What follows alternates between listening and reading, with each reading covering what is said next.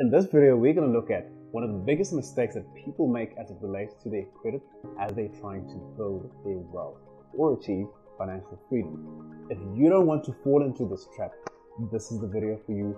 Make sure that you watch until the end.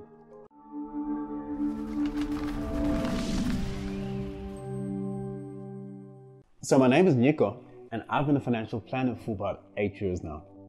I've learned a lot about finances, especially how to use or leverage your finances so that you can achieve financial freedom. I teach you to deploy, not just employ your money, so that you can achieve your goals and live the life of your dreams and achieve financial freedom.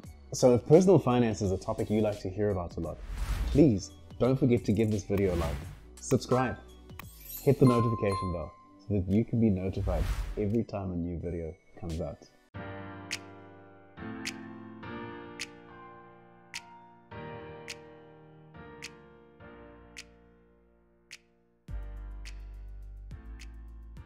Hello, and welcome to the sixth installment of my Achieve True Financial Freedom series. If you're tuning into the channel for the first time, or if you're tuning into the series for the first time, please be aware that the first part of the series was called What Financial Freedom Is Not. The second part was called Financial Freedom and Your Time. Third installment was called Financial Freedom and Your Money. The fourth installment was called Financial Freedom and how it relates to opportunity. The fifth installment was called Why Your Financial Advisor Cannot Help You Achieve Financial Freedom. This episode is called The Importance of Credit in Your Journey to Financial Freedom. So, let's get into it. As most of you know, I've been a financial planner for the better part of about eight years now, specializing in servicing finance professionals, and the most bizarre pattern or observation has become manifestly clear to me over the past couple of years. Hmm. But before we get into that, let me give you an idea of the type of clients that I work with on a day to day basis that made me come to this realization. So, I work with management accountants, CPAs, also known as Certified Public Accountants, aka Chartered Accountants. I work with financial managers, financial directors, even CFOs, investment bankers, and all other types of finance professionals.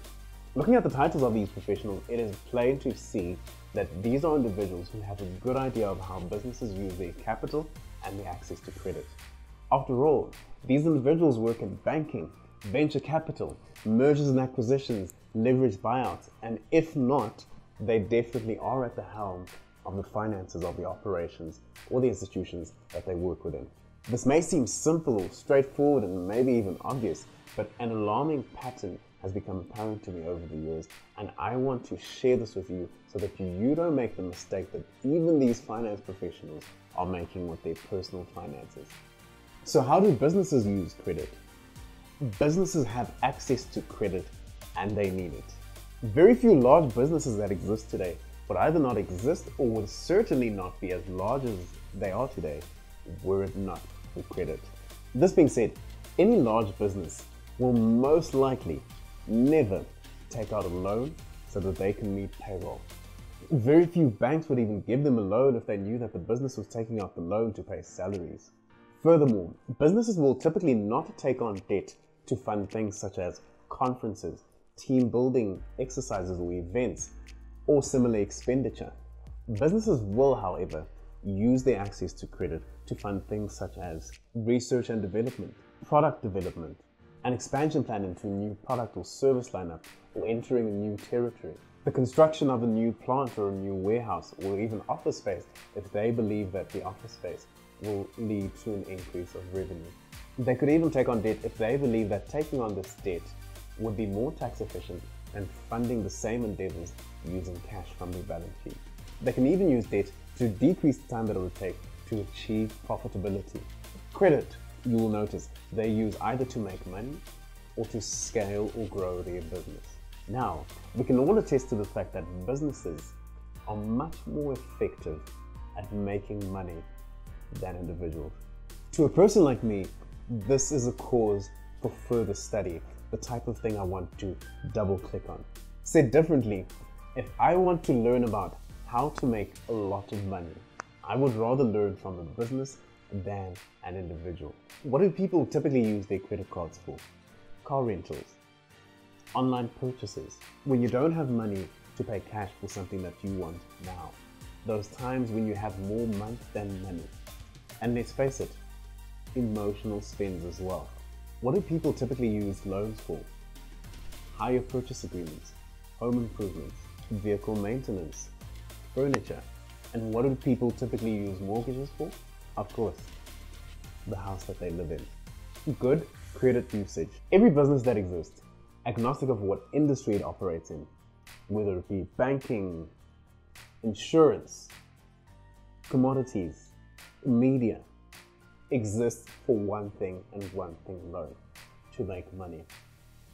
The individuals or the employees that work for these same businesses also typically do this for one reason and one reason alone making money. and this is where the bizarre contrast begins to emerge. Both of these are doing this for money, but they go about it in totally different ways. Did you notice the difference between how businesses use their money and their access to credit versus how individuals, even the same individuals that work in the finance department of the same businesses, use their money and access to credit. Individuals use their credit to access today things that they can only afford tomorrow. We can get into the debate about whether these are needs or wants. Doesn't really matter. But at the end of the day, the reality remains that you use access to credit so that you can get control of these things today. This, to me, is the textbook definition of debt. And then after having taken on this debt, you then have and pursue the ambitions of saving your way towards wealth. Did you notice that none of the examples that I made previously about how individuals make use of the access to credit actually makes them money? The cash that you have after having taken on this debt, you then use to finance the debt. Businesses, on the other hand, use the cash that they have to finance non income generating expenditure and then use their access to credit to finance activities or endeavors that will make them money. This kind of use of credit is called leverage. Leverage is using something you do not own to create or build something that you one day will own. Credit and financial freedom. As discussed several times during the course of this series, you cannot save your way to wealth. To create wealth and achieve financial freedom, you need two main components. Firstly, savings. Secondly, scalability, which is often achieved through the use of leverage. So, what you need to do is build up your savings so that you don't have to use your access to credit to take on debt. In this way, you free up your access to credit so that you can use it as leverage and not debt. So continue to save. Build up your emergency fund.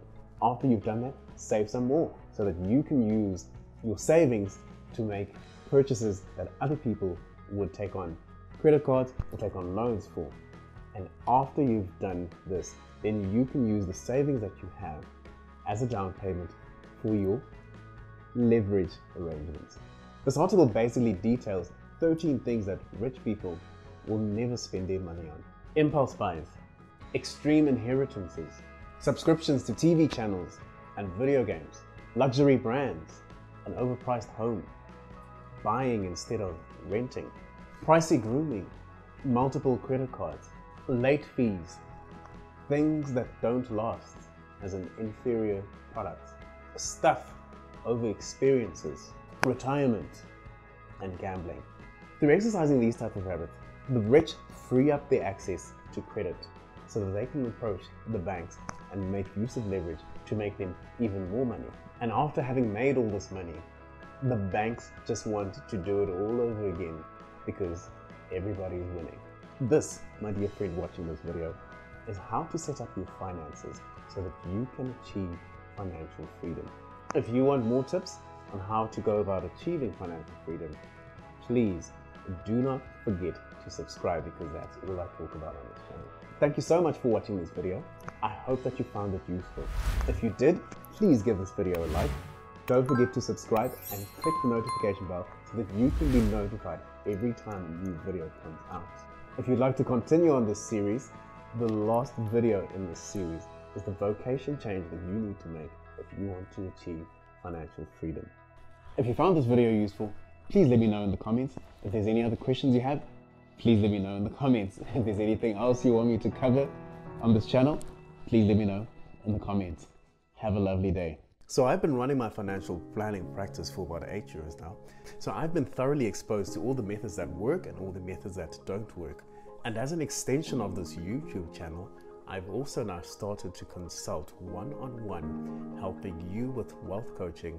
We talk everything from credit, how to speak to your banks, buying cars, property investment, everything you need to know so that you can achieve financial freedom successfully.